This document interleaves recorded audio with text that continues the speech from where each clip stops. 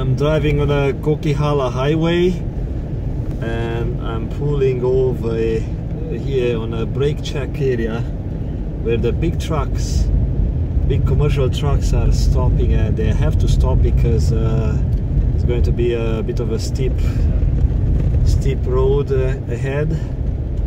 And if you ever wondered how come these uh, professional drivers are going by so fast uh, when the road is icy, slippery like today uh, how come they uh, they are not afraid? So it's not only because they are professional drivers but look uh, so many wheels 18 wheels trucks. And that's one of the reasons they are being called 18 wheelers because uh, they have 18 wheels and uh, if you look at the sign ahead it shows uh, 90 kilometer an hour uh, speed limit. It's a variable speed limit corridor. It's an automatic system installed not long time ago. It measures the road condition uh, conditions automatically.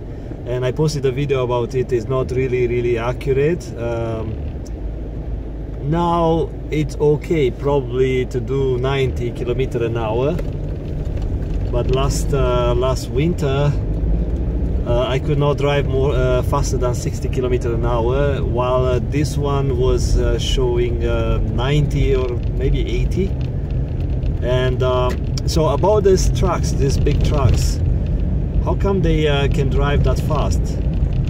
Is because um, they are heavier than your car the, I assume that you drive a smaller car and has more pressure on the ground so they kind of split even the ice not only the slush and the the uh, the snow the fresh snow on the road they actually touch the the pavement the asphalt with their tires. So they may have some sort of uh, uh, water film between the uh, the, the wheel, the tires and the asphalt. But when you compare to a regular car that is driving on the film of ice and film of snow like a compacted snow this truck driver have a better chance to have a better grip.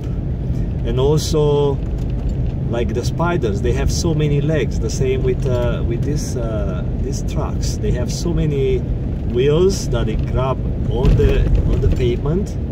And when you compare to your light car or light truck uh, you have higher chance to slide all over the place because you don't have uh, that much of a weight that much of a grip and you are nothing for a uh, steep steep road and uh, slippery uh, slippery asphalt.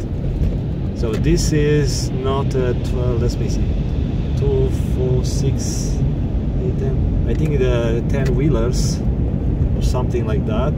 So that was not a really long track, but still it, they are going slow because this is very steep terrain. But when it's uh, when they are driving on uh, flat roads, they have no problem doing 100 km an hour on this uh, uh, this type of road conditions.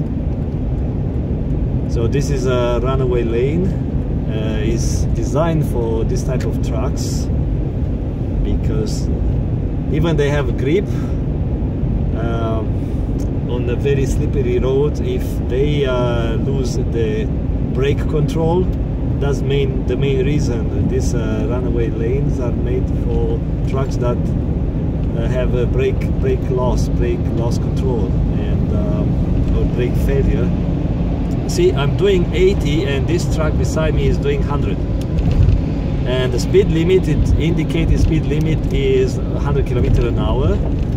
Um, we are maybe 200 meter at a lower elevation but it's still uh, icy still uh, dangerous.